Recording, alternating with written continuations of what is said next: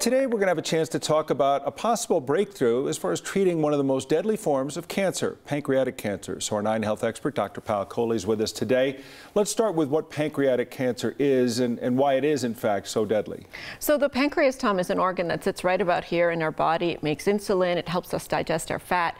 And the problem with pancreatic cancer is often by the time you present with symptoms, the cancer is already advanced and it may have already spread. And so the symptoms that you might present with, such as abdominal pain, jaundice, weight loss, those are really symptoms that show that it's obstructing something and causing a problem. And by then, it is likely probably too far in many cases. But then there's this story of a 71 year old woman from Ormond Beach, Florida who in a way self-advocated and, and, may have uh, had a bit of a breakthrough.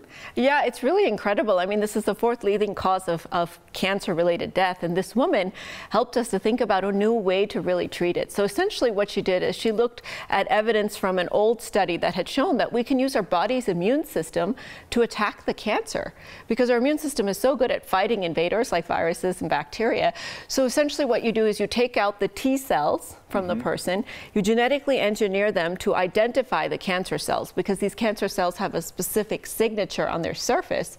And then you put them back in the person, let them do their thing. And in this particular patient, they actually shrunk the cancer 62 to 72% at six months. And they were still swimming around, which means that they were still lingering and still fighting the cancer. And they don't normally do this. This is, you would think that you'd want your immune system to be able to fight the cancer, but it doesn't effectively normally? Yeah, the cancer is smart. You know, it's got all these mutations that try to evade the immune system. In fact, some solid cancers, which we've had trouble using our immune system to fight, actually secrete chemicals that create what's called a protected immune environment around it. So your immune cells can't even get in there. So really genetically engineering them, having them really hone in on the cancer cell seems to be a promising therapy. And it's not then just about pancreatic cancer. This becomes a way that we can treat other cancers as well? Exactly. We've been using it now in leukemias and liquid cancers for some time, and that's called the CAR T cells. Again, your T cells fighting the cancer. And those are, you know, as you can imagine, swimming all over your body, so harder to target.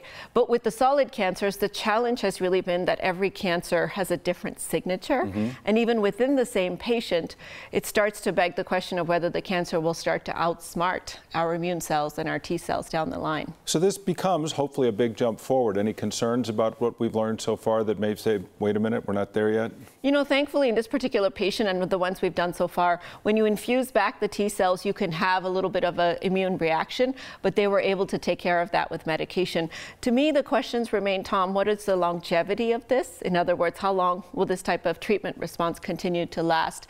And then also the cost and applicability, because you can imagine you have to personalize the therapy for every single patient. But I think it's such a great step in the right yeah. direction. Medicine is moving to be personalized, so we really get care for our individual body. Well, it's good news uh, to hear uh, uh, some progress is being made, hopefully more to come as well. Dr. Payal Kohli, thanks as always.